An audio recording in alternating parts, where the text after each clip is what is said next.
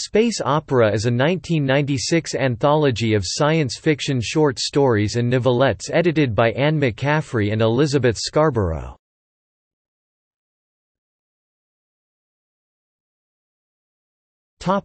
Contents.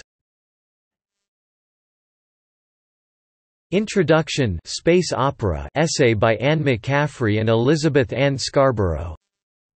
Bird in the Hand short story by Anne McCaffrey Calling Them Home short story by Jody Lynn Nye. Saskia novelette by Charles de Lint Songchild short story by Robin Wayne Bailey.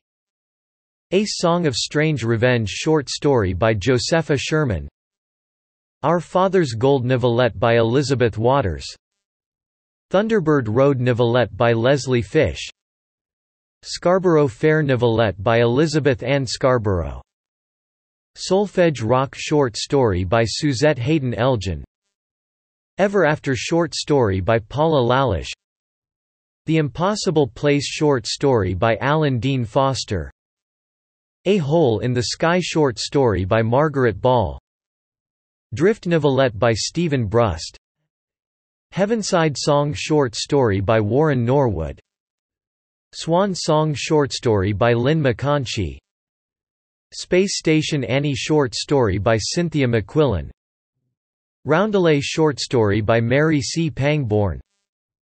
The Last Song of Sirit Byar novelette by Peter S. Beagle. To Drive the Cold Winter Away short story by Marion Zimmer Bradley. Bluesberry Jam novelette by Gene Wolfe